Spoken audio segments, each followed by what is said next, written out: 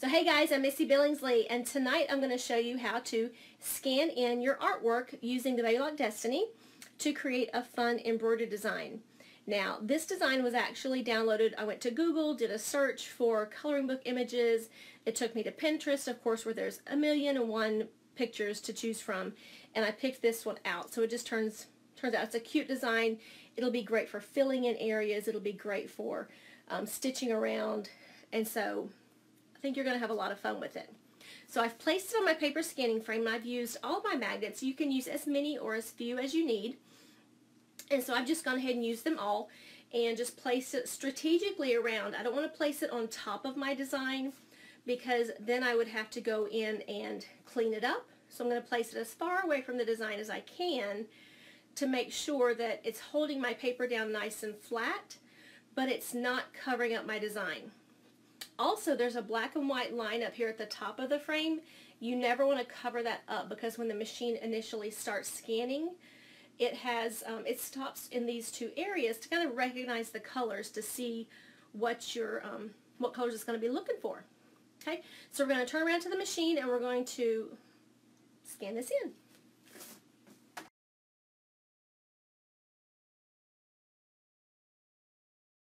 Okay, so I've placed my frame on um, the machine, the bed of the, the Baby Lock Destiny. I've locked down the, the arm over here to be sure and lock it in place. And now I'm actually ready to scan. So I'm going to slide over here to the screen. And we're going to go ahead and see about scanning and playing with it. Okay, so let's choose IQ Designer. Now, IQ Designer is where you're going to be doing all of your scanning of your images whether you want to scan a piece of fabric that's in the embroidery hoop or you want to scan to create um, a design with artwork like we're going to be doing tonight. So you have a couple of options. You have your create line image and create fill image.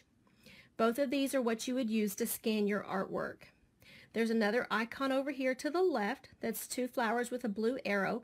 That is used if you're scanning your frame, your embroidery frame, not your paper scanning frame. So this one you'll use if you're scanning your embroidery frame with fabric in it. Maybe you want to fussy place a design or you want to work on top of a maybe a quilt block in the hoop. You would use this icon here to actually scan it. So we're actually going to choose create line image and select scan. Now here's what's going to happen. It's going to say the built-in the frame will move to be scanned with the built-in camera and you'll touch OK.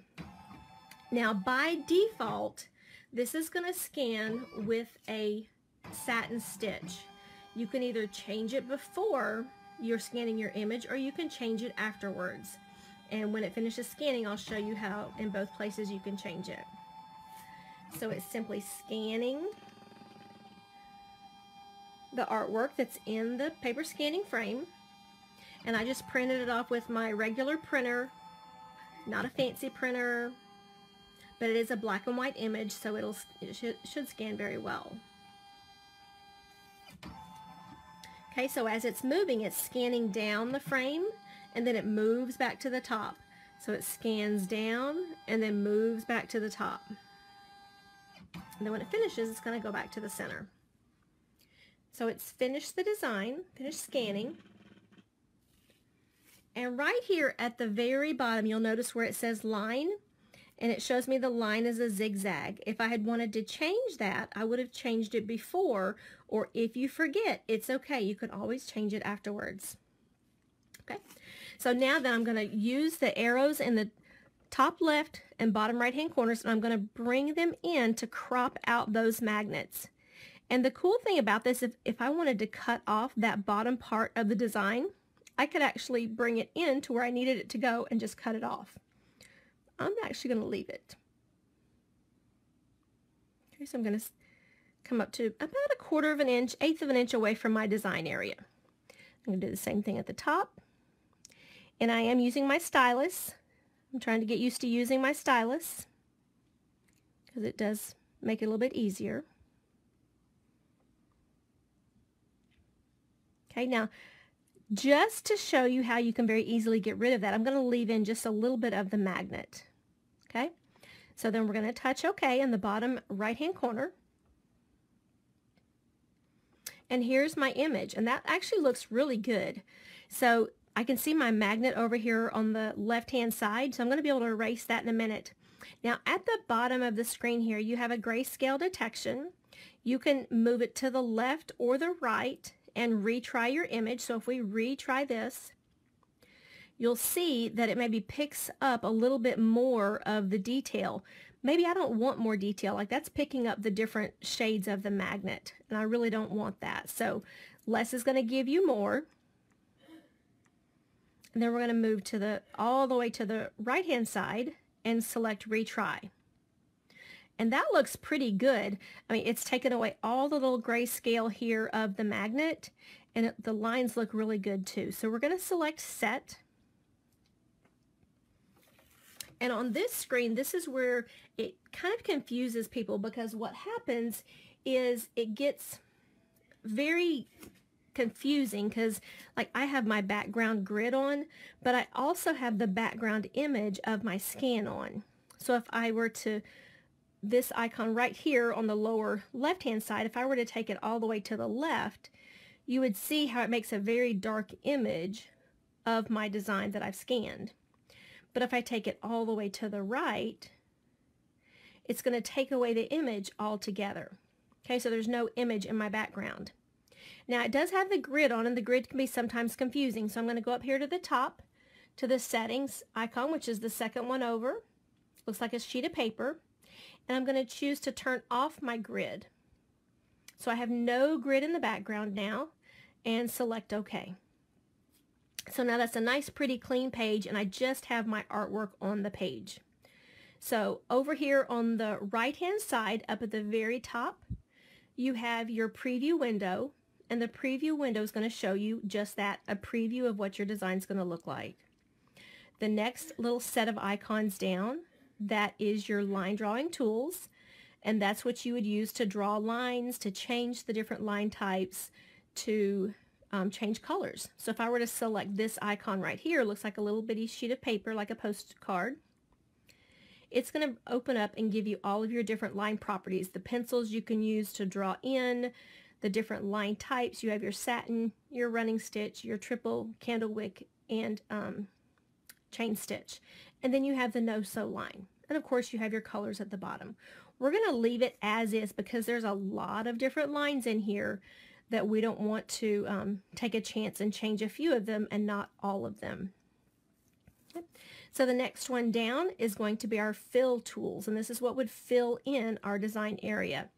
Again, settings allows you to choose your different fill types. You have your stipple and then with your um, Destiny you have original patterns, um, 10 original patterns for the fills. Then you have more additional patterns if you've purchased the upgrades. Okay, so you also have your changing of your colors as well. So now on these, both of these icons, both the line drawing tools and your fill stitch tools, you have a pencil, you have a paintbrush. What do pencils do? They draw a line. What do paint brushes do? They draw a line. You have a bucket next to the pencil and you have a bucket next to the paintbrush. What do buckets do when you drop when you pour them out? They fill in areas. So just know you have to choose whichever one you're working with, you have to choose the corresponding one to fill in an area. Because if I were to take this paintbrush right now and touch on the screen, or draw on the screen, you'll see how it makes marks. But if I were to take the paint bucket and fill it in, it's going to fill in the entire screen. So we're going to simply select undo and get rid of all that. So that's your, the difference between your brushes, your pencils, and your buckets in the corresponding places. Now then below that, we have our eraser, we have our shapes tool, when you select the shapes, you get 30 different shapes on the first page. These are all closed shapes. The next icon, you have 30 more shapes. Then you have 30 open shapes. These are line tools. Then you have your outline of your embroidery pattern that you may just you may save in embroidery and bring into IQ to add stitches around. And then you have your hoop selection. So you can change whatever hoop size you want to work in and have that be the view that you're looking at. So now I'm going to choose the eraser. And with the eraser, when you select it, you have three squares and three circles that pop up. Now the squares are, are best if you're zoomed in really big and you're going to erase a straight line like this um, straight line of the magnet right here. But circles, you they give you kind of a rounded edge as you're going into your to erase your design. So I'm actually going to choose the squares for right this minute. I usually work with the medium size, but I'm going to choose the large because I really want to get rid of this line right here. So I'm just going to simply draw it down and erase. Okay, so maybe I wanted to get rid of some of these leaves in here. You can work with it at this size for only so long. Then up here in the top left corner, you're going to want to make it larger. So you can actually zoom it up to 800%. That's 400. That's really big. 800 is even bigger. Now when I get it this large, it's kind of hard to see around the design area. So if you'll look over on the top right hand corner, this is where you have your preview window. So you're going to be able to use the preview window to kind of pan around to different parts of the design and see if there's anything you want to erase, anything you need to clean up. Maybe you need to add a little pencil mark right here. So I'm going to grab a pencil and I'm going to draw in that line. Okay, as easy as that, drawing in that shape. And see, here's another one right here. Now these are very small little places that I'm adding in. They may or may not make a difference in my final stitch out. Because remember, I'm zoomed in at 800%. So it's probably not going to make that big of a difference. So even if you come back down, now you're not going to see it. So I could very easily undo and get rid of those little spots where I had it. I do think that one needs to be connected though. So we're going to zoom it back in, come back down, and add that one back. Now when you're drawing, I'm resting my hand on the side of the machine, whether you use your pinky to rest or the palm on the side, you don't want to touch the screen because if you touch the screen, what's going to do is it's going to leave a mark. Okay, so you don't want to you want to try not to touch the screen. Just rest your hand on the side somewhere so you can actually get in here and draw your lines. Okay. So we're just going to zoom around. And once you've done all your cleanup that you need to, then you want to be sure and save it. Because if you don't save it as you're going, invariably something is going to happen and you're going to have you're going to wish you had saved it. Okay, so now we drew in a line with our pencil. Now let's check out this eraser. Maybe I want to get rid of some of these leaves. So choose your eraser. I'm going to choose the circle. Now keep in mind, I'm zoomed in 400%. The erasers are much larger in life than they look on the screen. So when you touch on the screen, you'll actually see an image of the eraser and the shape. So you'll know where to erase. Now, here's what you want to pay attention to. If you're erasing a lot, maybe I'm going to erase several of these leaves, and I'm leaving my pencil down, and I'm erasing, I'm erasing, I'm like, ooh, I didn't mean to erase that leaf. But I had my pencil down for quite a while, so when I select undo, it's going to bring back all of those leaves that I really wanted gone. Okay, so maybe after you erase one of the leaves or part of the design, raise your pencil up so you don't have to hit undo and bring back a whole bunch of stuff that you may or may not want. So I am going to select undo to leave them there because I actually think they look pretty good. And the design itself looks really good. It's scanned really well. And for the artwork, it's not it's not perfect artwork by any means, but it's it looks looks really good.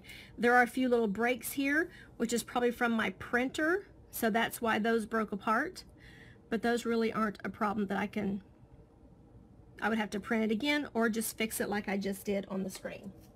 Okay. So now once you have the design here, you're going to want to go ahead and save it. So at the bottom of the screen, touch the red arrow going into the pocket and save it either to your machine, your USBs, or your, your SD card or direct to your computer. I'm going to save to my machine because I don't have USB in.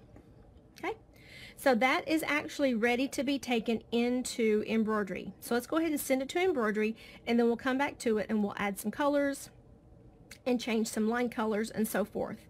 So let's go ahead and touch next. I haven't changed any of the properties and I'm going to show you why in just a second.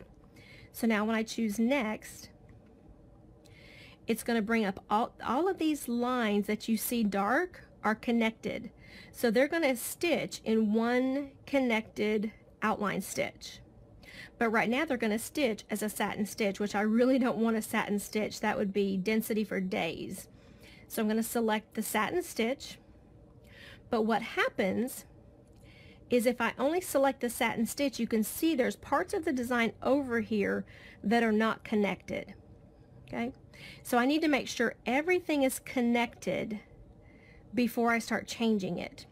So that's what this chain link is for. So I'm going to choose the chain link and now everything on the screen that is that same property is going to turn to it looks like a little bitty wiggling line. Now I can choose the satin stitch, change it to a triple stitch, and I do like to change my color just so it kind of reaffirms to me that it did change my colors. Touch OK. And now everything has turned pink and everything is a running stitch. Okay, so now I can save that again because now it's the right properties that I'm wanting for my particular design. All right, so then we'll go ahead and touch preview. Uh, your stitch length, I'll usually bump that up. That's a 2.0 is a pretty short length. So I'll usually bump it up to about a 2.5, 2. Point, you know, 3.0, somewhere in there. Even I'm just right in the middle at 2.8 here. So then we'll touch set, select preview, and it's thinking about how it's going to turn this into an embroidery design. And looky there.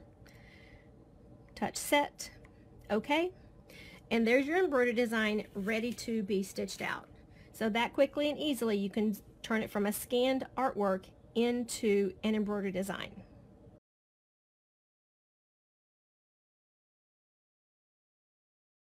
Okay, so now we've our scanning frame is on the machine. We've already scanned our artwork in for the first design. Now we're going to actually move back to the machine. We're going to go back into IQ Designer and we're going to work on a second design. So we've already scanned it and we've already saved it. A question sometimes comes up, well, why did you save it to begin with? Because if I ever want to work on it again, I can now use the blue arrow coming out of the pocket at the very bottom, go select the design, choose it, and bring it in. So now I don't have to rescan the entire design and I don't have to clean it up again because it's I've already cleaned it up. I saved it after I did all the cleaning and all the fixing and fussing that I wanted to do.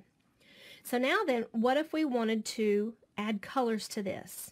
Okay, so we're going to leave it all the outline all one color and we're going to add some fills to different parts of our flowers. Okay, so we're going to make it larger and maybe you want the flower right here, maybe you want these inner petals to be a certain color. So I'm going to actually choose my fill pattern. I'm going to choose the settings, choose a yellow. I'm just going to leave these all as a regular fill pattern. And I'm going to choose, actually I'm going to come over here to this little daisy. Oops, see what I did? I did the paint brush, not the bucket. So I'm going to undo that, grab the bucket, scooch it over just a little bit, and I'm going to fill in each of these petals on this flower. Now, if by chance you hit outside the design area like I just did, what are you going to do? Simply hit undo at the bottom of the screen. It is my favorite button on the screen and it'll take away all of that that you did. Now, these little circles right here, they would be an awesome place for a little hot fix crystal. So I'm definitely not going to fill them in. But I may come up here and fill this little flower in with a different color.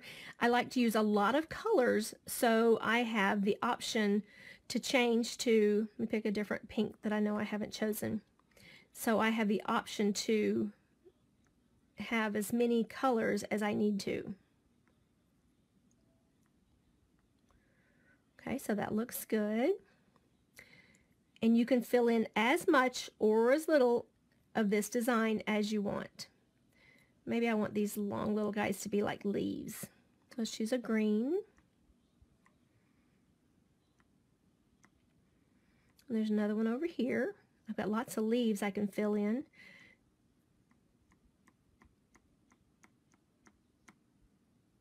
Those look cute. And this is kind of like coloring in a coloring book. You can stay here and play for hours. Hours, I'm telling you. So I'm simply changing my colors and I am filling in the areas that I want to fill with stitches. All right, so let's try this big guy. Let's grab a purple.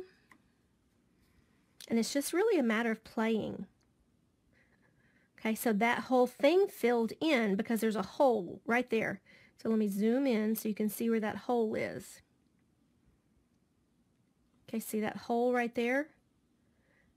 That whole thing filled filled in that petal because there was that break. All right, so now let's undo that.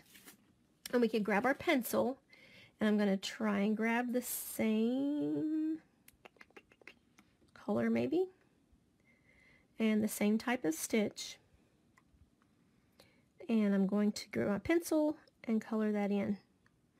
That's not the same color but hopefully I'll be able to get it the right color on the next page. Okay, so now I filled that in. Now I'm going to try and fill that area. So see it filled just the outside area now, which is what I wanted to fill in. So if I keep moving down to this one, whoops, see what happened? It filled in all of this down here because there's a break in the line. And that's actually, that break came to be from where my printer actually skipped a little bit of the line right through here. So if I wanted to, I could go back to the very original artwork and go ahead and clean that up. Or again, I can zoom in, hit undo, zoom in real big, I still have the pink color on my pencil. I'm going to oh, choose the pencil and fill it like that. So I just connected the lines. So now when I fill it in, it fills in just the outer perimeter of that flower. That one's good. That one looks good. That one. So you see, it's just a matter of, whoops, playing and making it do what you want it to do.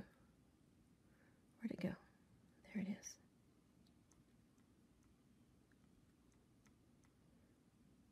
There we are. Okay. As I said, you can sit here and play for hours, days, especially if you like to color. If you like to weed vinyl, if you're playing with your Cameo, your Silhouette Cameo Cutter, yeah, you can spend lots of time doing this. But it is a lot of fun too. All right, so I'm going to choose a darker color purple for the inside of my flower. Okay.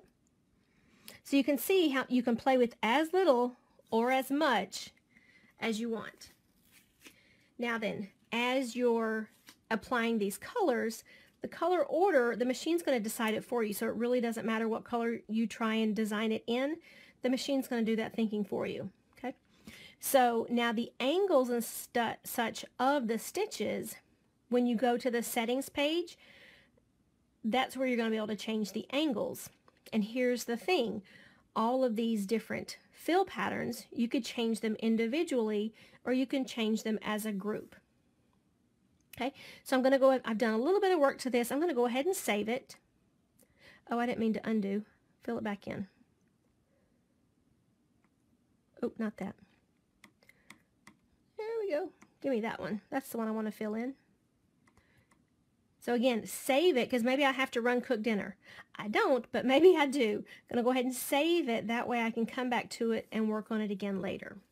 All right, so then we'll go ahead and choose next. And here's where you can set your angles of all your stitches. Over here on the right hand side, you have your chain link because we have a lot of fill pattern stitches in here. So if we select the chain link, that's going to select all of the similar fill pattern types. and it's going to let you change all of your stitches at the same time. The direction is set for automatic. I'm going to leave it at automatic because I don't want to have to change each and every one of those, and it usually does pretty well. The density, play with that. That's this second icon here, that 100%. You can either go down a little bit to like 90% or you can go up to 110%. And sometimes a little bit more density I've found on some of them is better. So do a test. Always do a test before you put it on your actual project. The next one is the direction, or sorry, the pull compensation. Um, if it's narrow lines like this, you know, you have to, again, the pull compensation is something you're going to play with because as it lays down the stitches, it's going to kind of distort the fabric. It'll kind of push it and stretch it out or it might draw it in. So the pull comp is something to play with. And then the underlay stitching, the undersewing, that is the little road map that stitches underneath the fill patterns to help lay down your base layer of stitches. And so you can choose to turn it on or off depending on how big your design is. Okay. Then we have, if we go through the select, I'm going to try and find an outline. See, there's an outline right there. So it shows it as a pink, but it only shows the one. So I'm going to chain link it. And now I've selected all of the outlines, but remember they were different colors because I didn't grab the right color pink. So I'm going to go back to my outline settings. I'm going to choose black. And black is also actually going to make all those colors on there pop out. So I'll change my stitch length. Again, I like about a 2 point, mm, 2.8, somewhere in there, in between 2.5 and 3. And it's going to vary depending on the type of design you're using, but those, that's usually my go-to is between 2.5 and 3. Then we'll touch Set, then touch Preview, touch OK, and it's deciding on all of the stitches for the design. And when it finishes look how awesome that looks. Okay looks amazing. So we're going to go ahead and touch set. Okay. And now you've actually taken that from IQ Designer and you've now created an embroidery pattern with fill stitches. Again, you could fill in as much or as little of the outlines as you wanted to, or the fill patterns, or you could also, you know, take colored pencil, pencils, pens, markers, color in different areas. So it could be like a multimedia project. So now this is ready to be stitched out.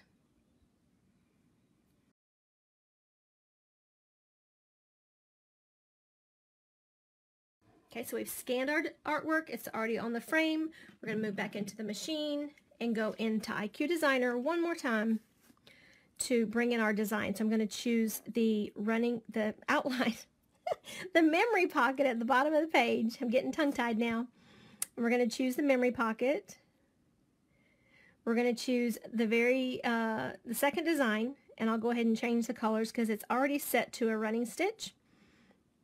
Okay, so now if I make it bigger, let me go ahead and go forward to the next page, chain link everything, then change the color. Because if you don't chain link everything, it doesn't change all the colors. And then if you've already changed it, then it, it doesn't collect everything. So now we should all be a running stitch. So now to change individual colors, you're going to zoom in real big. And this is where I do get probably bigger than I should, like at an 800%, because I want to be able to see what I'm working on. So I'm going to change these little guys right here. I'm going to change their color. And what I showed you a while ago is one that can take a lot of time. This can take even more time. So I'm going to choose my eraser and choose the smallest eraser you can because you are zoomed in really, really big. So smallest eraser you can. And as you touch the screen, you're still going to be able to see the size of your eraser. So you're going to come in here and you're going to erase just part of the outline. Now you can come back and connect it later, but you need to erase just bits and parts of it. See, I got the wrong part.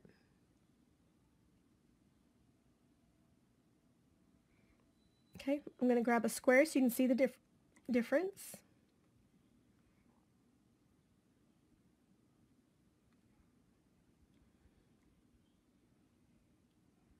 Where'd that guy go? Oh, he's up here. Okay, so that's all broke apart from here. So I'm going to go choose my color. of my outline. I'm going to choose this mossy green and I want it to be a triple run. And I'm going to choose my paint bucket. Remember the bucket fills in lines of color, the pencil draws lines.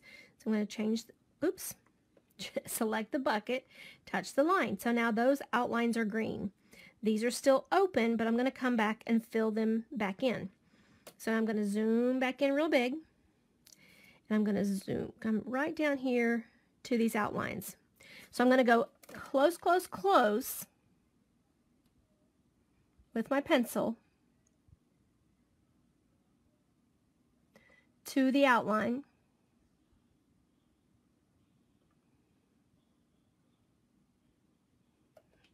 Okay.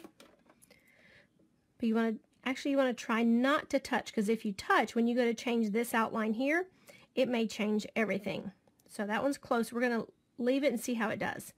So I'm going to zoom over to, let's see what we have here. Okay, here's some more of those little green guys. I'm going to zoom in. Zoom in real close so you can see what part you're actually looking at.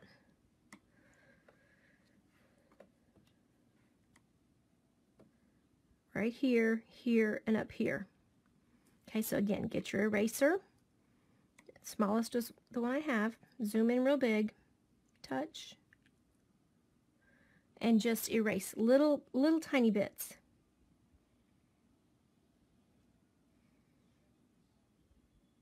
Whoops.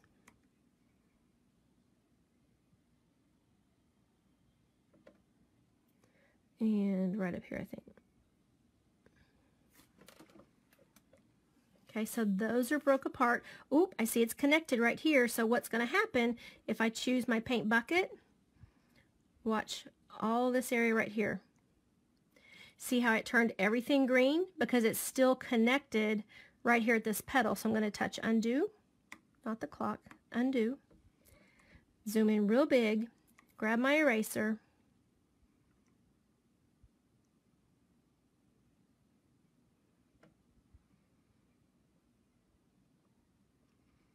I think that got it.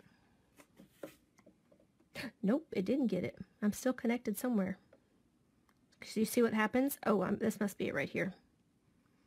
Oh, right up here. That's where I'm still connected. So undo again. And just, you know, you may have to undo several times until you figure out where you're actually connected. Eraser. Now I shouldn't be connected. There we go. Okay, now here's the thing. Once I have uh, broken these apart, they're not connected anymore. If I go to fill them with a pattern, then it's going to fill everything because there's a broke line. Okay, so once you change the color, if you want to fill it in, what I would do is I would either fill everything in first on one design, and then bring in a second with just the running stitch outline for the second part of the design. That way you don't have to worry about any of the lines being connected or disconnected. Because now if I wanted to fill that in with color, I would need to get my pencil, bring this back in up here, connect my lines so it's a closed area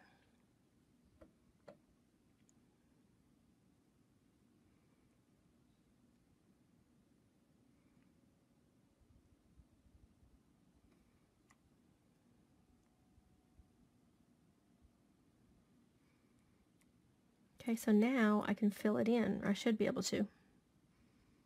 Oh, that's a running stitch though. I want the fill pattern. I want it to be the light green, paint bucket, fill in the areas. Okay, so once you've broken it, you can change the lines, but then you have to reconnect it because if you don't, like this one up here, it's, um, I, I did reconnect it. Oh no, I didn't see that one. I didn't reconnect, so it filled in the whole page. Undo. So that one I did, but this one right down here, that one little bitty spot, right here. So I'm going to grab my pencil in the same color, and I'm going to fill in just that one little bitty spot. And that's all it takes is one little bitty pixel that will give you grief from filling in a design area. So I'm going to choose my paint bucket, fill it in.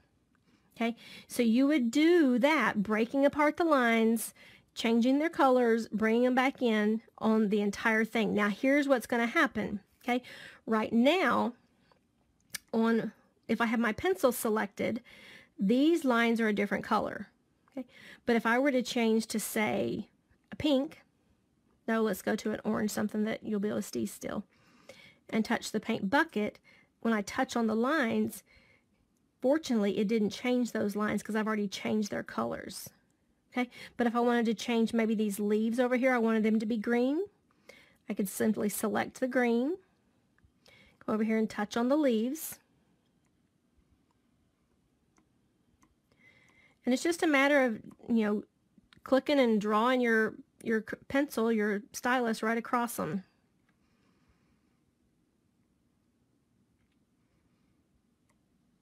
Okay, so lots of fun that you can do.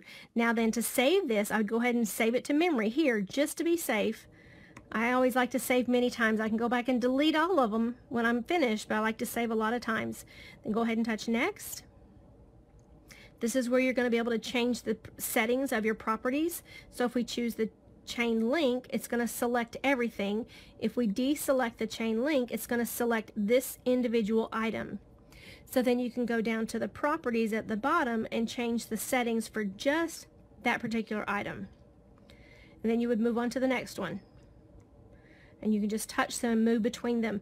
But if you want them all to be the same, touch your chain link and it will select all of the like properties. So all of those are a line stitch. So it's going to change all of the properties for all of the line stitches to be the same. If I wanted to select the fill stitches, I could select the chain link and there's the fill properties and it would change all of the fill properties to be the same. Okay, so I hope that helps you with IQ Designer. When you're finished with this, you're going to touch preview and it's going to work through applying the stitches.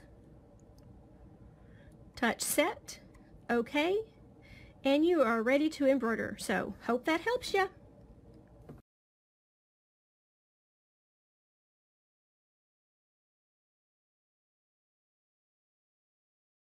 And so here are a few that I have played with. This one is um, Happy Harvest. And this one is from a little embroidery pattern. Whoops, too bright. Okay, so Oh My Bloomin' Threads, just a little embroidery pattern and turned out really super cute because how many of you are hand stitchers? Not me. Not if I can help it because hand stitching takes way too long and um, although it is beautiful, it takes way too long. I don't have time for all that. So, but this one's from Oh My Bloomin' Threads. That right? And it's just called Happy Harvest. It was a very simple little pattern to do. And it's wonderful because it's it's printed nice nice clean images for you. So when you take it out and look at it. And Oh My Bloomin' Threads, I've used several of theirs. Theirs was actually one of the very first ones that I ever scanned with the Destiny, and it does a really great job. Here's what the, the design looks like, and it, um, it did really well. So that was one that I played with, a, it was probably last summer now. So that one is just a really cute, simple one from Oh My Bloomin' Threads. You can get way more detailed but just know the more detailed you get, the longer it may take to stitch. Okay, so that one, here we go. Now you can probably see it better. I just have to remember where the camera is now. So, oh my bloomin' threads, and it turned it into this, okay? So I'm going to go into all of the fun details about how you can actually get the lines to be a different color as well. So it's fun details, but it's also nitpicky details. So you do have to know that. But that's why many of us bought these machines so we could turn our hand stitches into um, embroidery stitches. Okay. So this one is actually the very first one that I did. Let me turn the light a little bit. The very first one that I did, and it's called Shake, Rattle, and Snow. And if you were in Colorado for the Martha Pullen event just after the Destiny came out, you may recognize this because we were playing with it late one night in uh, the hotel. But again, it's from Oh My Bloomin' Threads, and it's called Shake, Rattle, and Snow. Now, it's a big pattern. Big. I didn't do all the words to it, but it is a really big design. Really big design. Okay, so y'all should be able to read that okay. So hopefully I'm not backwards anymore. Okay, so what I did is you can actually kind of see the crease lines of the paper. So I folded it down so I could actually get it onto my paper scanning frame. Okay, and scanned in this part of the image. It's super cute design. I love it. Okay, so I scaled scaled my paper down, so I folded it up so I could get just to the meat of the design.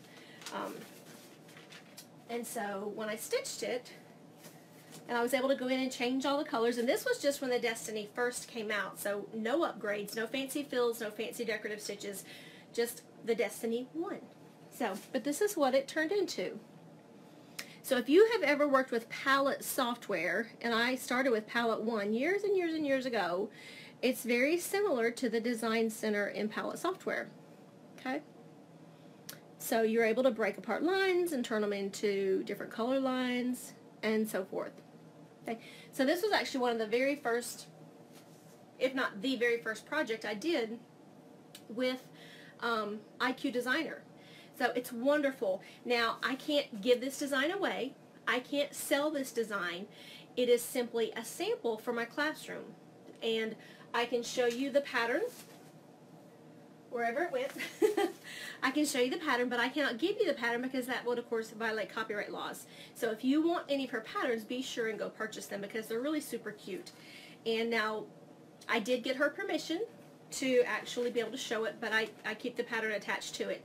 Now, here's the thing. There are some designers that do not want you to turn their hand embroidery patterns into machine embroidery because they're afraid you're going to give it away or sell it or do whatever. So be sure, and if you're in question about it, you know, especially if you're a teacher who teaches classes, get permission before you do that because um, everybody's going to have to have their own, and there are some that don't want you to do that. So, but she was very gracious. She said, yes, please um, show it with a pattern, show the stitch out, and because what it does is it drives sales to the Destiny, and it drives sales for her patterns too. But she's got some really super cute ones, so be sure and check her out. So those are two of my favorites and one of my very first. Now this one, many of you have actually made this with me in class and it says be it ever so cluttered, there's no place like my sewing room. And we actually used artwork and scanned it in to create these cute little designs. And these are some designs that I purchased um, for designs to go on my website. Are they done yet? No. But I've used them in class and they stitch really well. So, but they're just super cute designs. And there's, I think, 10 of them in the set.